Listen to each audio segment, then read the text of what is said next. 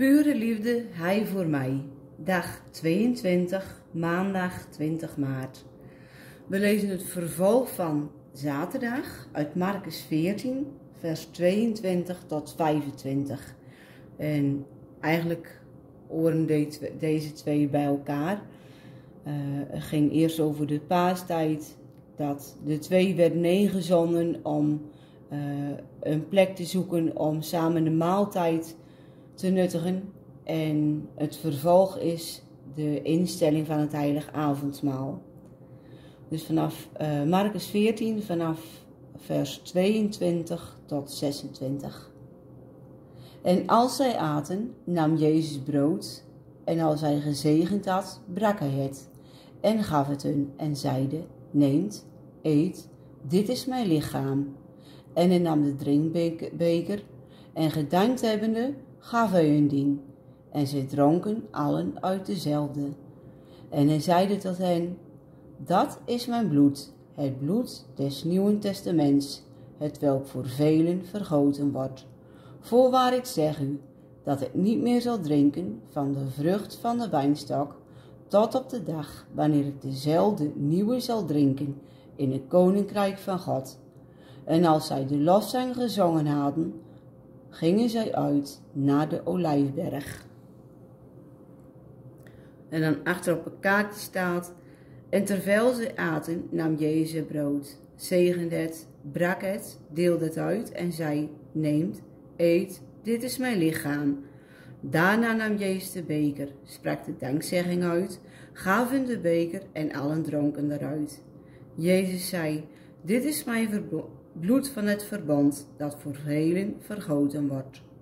Het betekende veel voor Jezus om tijd met zijn leerlingen door te brengen. Hij hield van ze, zoals hij ook van ons houdt. Toen hij het brood en de beker met hen deelde, veranderde hij het ter nagedachtenis aan zijn eigen lichaam en bloed. Hij wilde dat de leerlingen aan hem zouden blijven denken. Hij wil dat wij aan hem denken en ons hart geheel aan hem schenken. Ik laat jullie nu het mooie lied horen van Sela aan uw tafel. En ik heb het kaartje al gemaakt. En zoals jullie waarschijnlijk al gezien hadden, is het heel fijn. En ik kan niet van een uh, meter afstand kan ik dit zien. Dus ik heb hem al in de vorige gemaakt. Ik laat hem hier liggen voor degene die het als voorbeeld willen gebruiken. En ondertussen laat ik het mooie lied uh, draaien. En dan zeg ik bij deze gelijk tot morgen en bedankt voor het meekijken.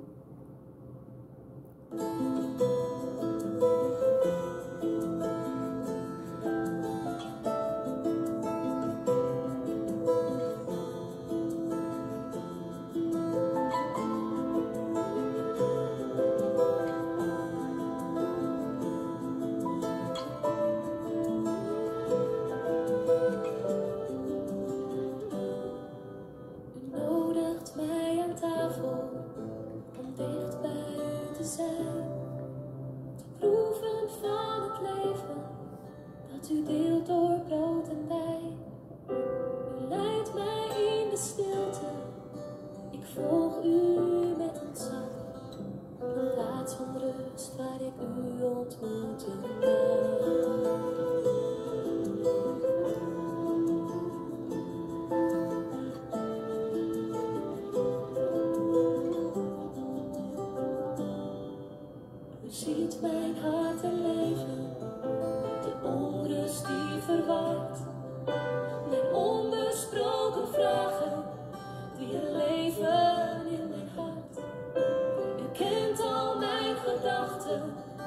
for better.